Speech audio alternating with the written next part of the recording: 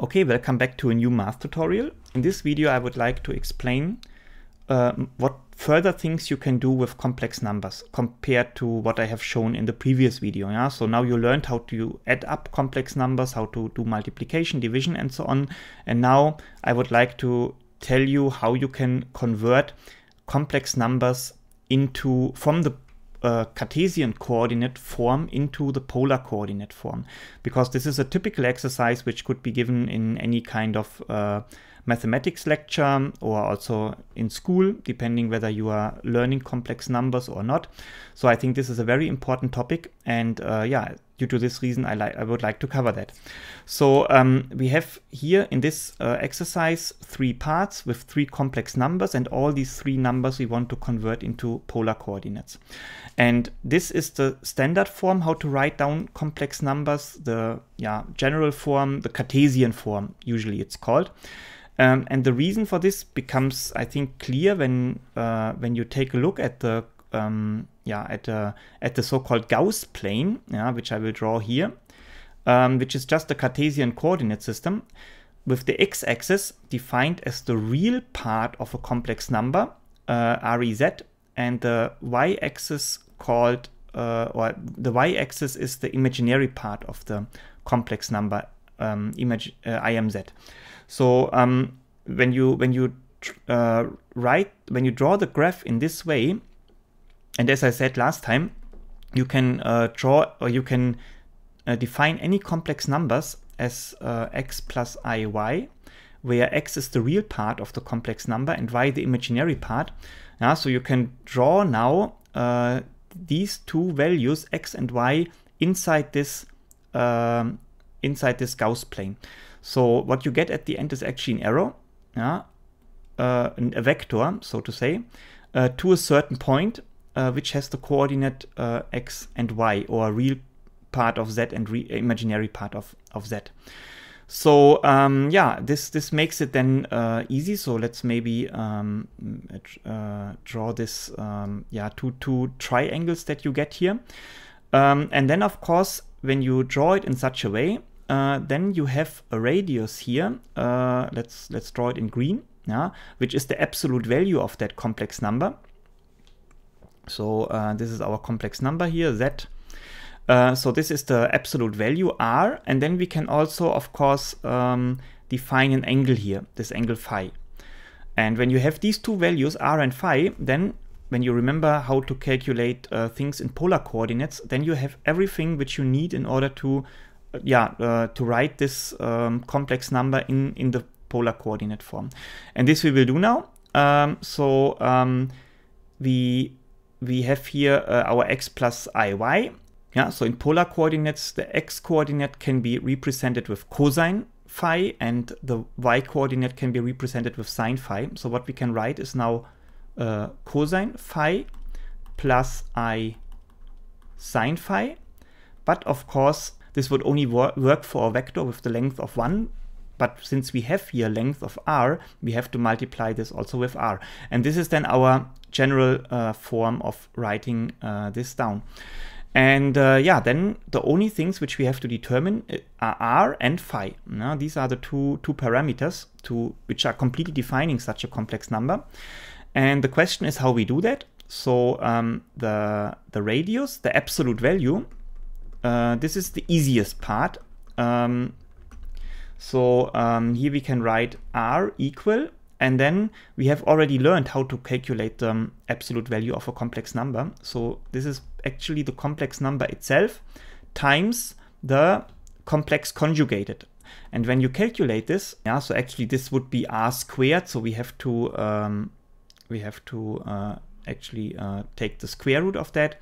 So uh, this would be the square root of x square plus y square. Now you can easily uh, confirm this when you take these um, yeah, uh, calculation laws that we have previously derived into account. Yeah, so this is simple. Um, but now it come we come to the angle and uh, here um, we can we can take into account that um, this is our imaginary part here actually, this red red side here, im of z. And then uh, when you remember uh, trigonometry, then uh, maybe you remember this uh, arcus um, or this this tangent function, which is actually defined as tangent of this angle phi here, given as the this side here, the imaginary part of uh, of of our complex number, uh, divided by this side here, which is our real part of complex numbers of the complex number of the complex number actually. Yeah? So this is uh, tangent phi equal to this fraction here. And if we want to have then the angle phi, of course, we only have to calculate the inverse tangent, which means uh, arcus tangent of um, imaginary part of z divided by the real part of z. So it's actually simple. Yeah. And in order to practice this a little bit, I would now go through these uh, exercises which I have written down here. So um, in the first step, we will make a new page and uh, we define this here uh, as a. And this is given as z equal to 1 plus i. And then now we can draw our coordinate system. Maybe I can try to make it a little bit more beautiful. Um, so we have here uh, again the real part of z and the imaginary part of z. And here we can draw our 1, 2, 3, 1, 2, 3. And also in negative direction, we can write here minus 1, minus 2, minus 3, minus 1, minus 2, minus 3. And yeah, then we can uh, uh, our then we can draw this number uh, by taking the real value into account, which is one. Yeah, and the imaginary part is also one. So we can uh, this is very simple. So we can now draw our um, yeah maybe we can do it in red.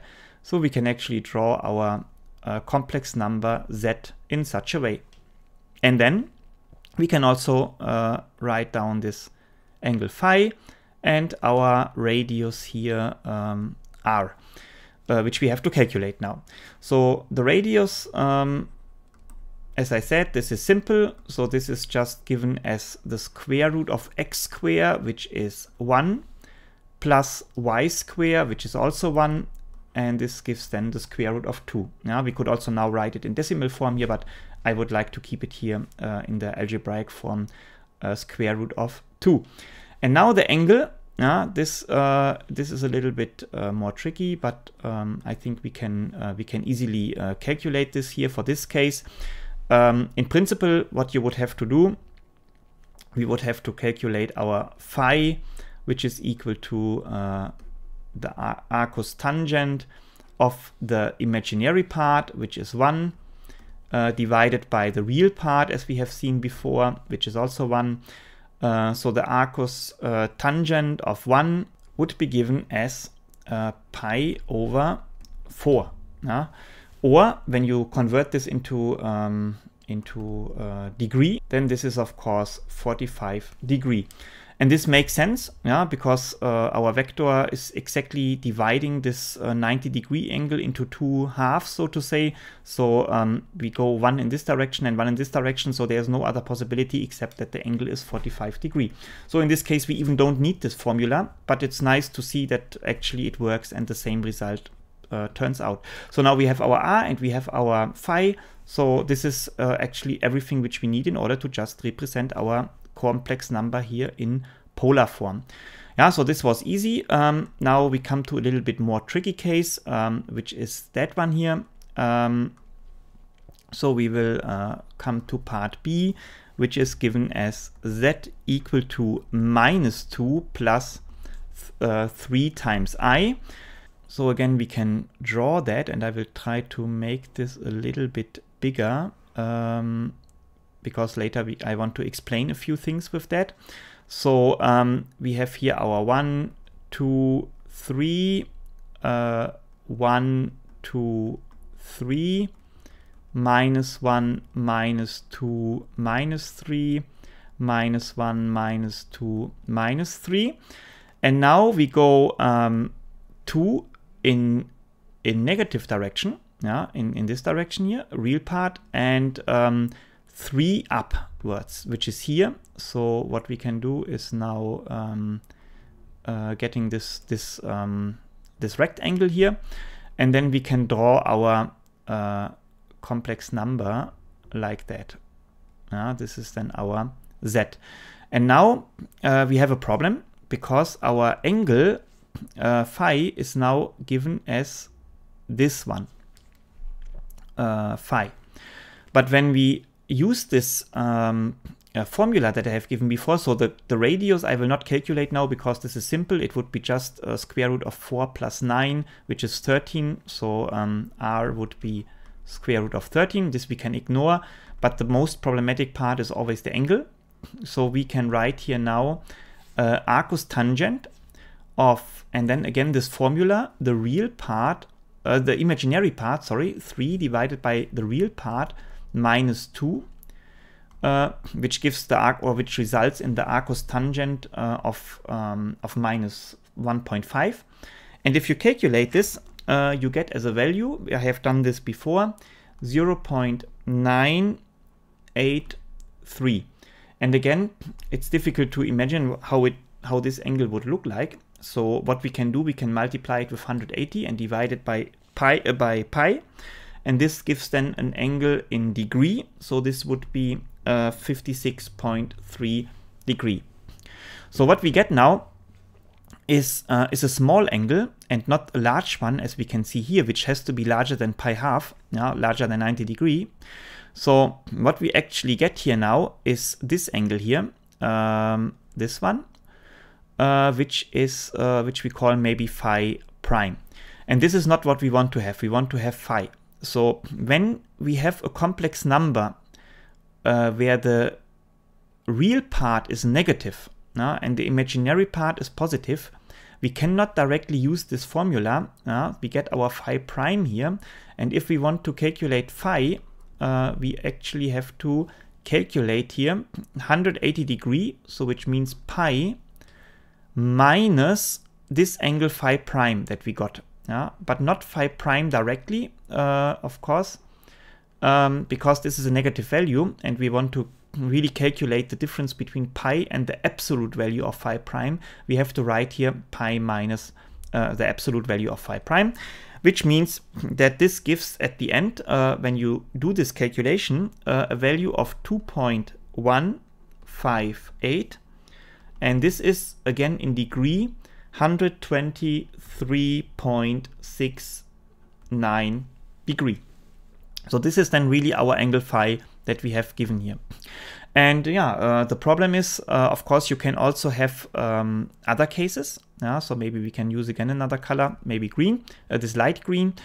Um, or let's use purple, uh, where we have uh, other cases where we can have, for example, a negative real value and a negative imaginary value. Uh, so our vector could maybe point into this direction.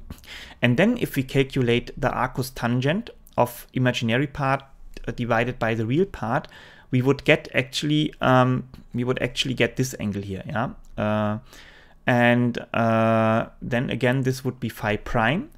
And in this case, our angle phi would be then this 180 degree, which is given already here, plus phi prime, and in this case, the absolute value. Yeah, so we have to then calculate pi plus the absolute value of phi prime. This is uh, for the case that um, both the imaginary and the real part are negative. And then we can of course have a, have a, a fourth case yeah, where we have here a vector um, with a positive real part and a negative imaginary part. When you do this calculation of the arcus tangent, then again you get this angle here, yeah, phi prime, and um, I hope you can read this in a, in a, in a good way. So then in this case, uh, our angle phi that we want to calculate, this full angle here from uh, from the x-axis to this um, to the vector of this complex number would be then given as the full angle 2 pi minus the absolute value of phi prime. Uh, I'm not sure whether you can really read this, so I will maybe uh, choose another color here, gray, and um, just write over that 2 pi minus phi prime. Yeah, and this is um, uh, these are all the four cases that you can have. Now, the first one we had already, this was easy. The second one we calculated now here. And the third and fourth one, you have to calculate either pi plus this absolute value or 2 pi minus this absolute value. So you can see it's actually very simple.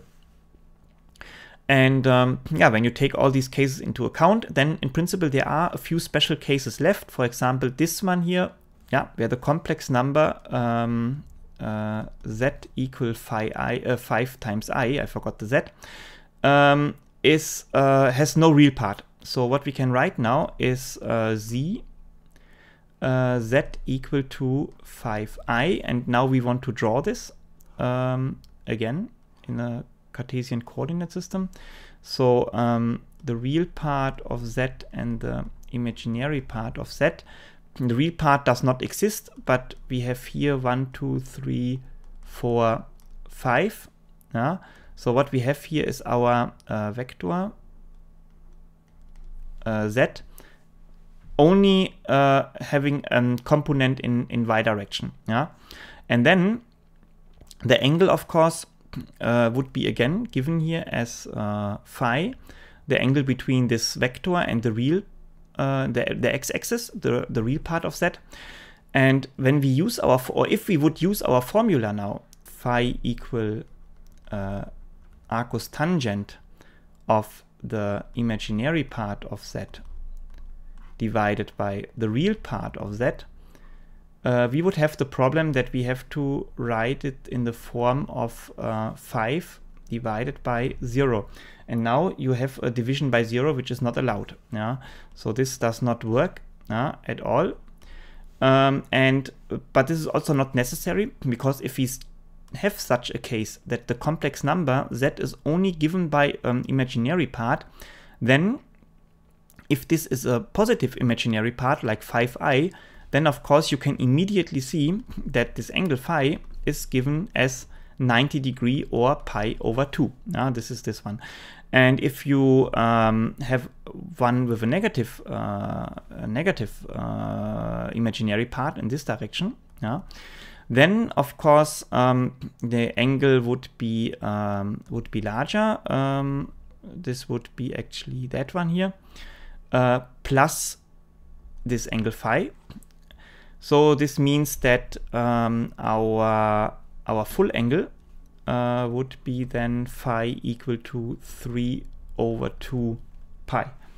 Yeah, this is also very simple, or 270 degree. Yeah, so this would be, of course, 90 degree, and this would be um, 270 degree.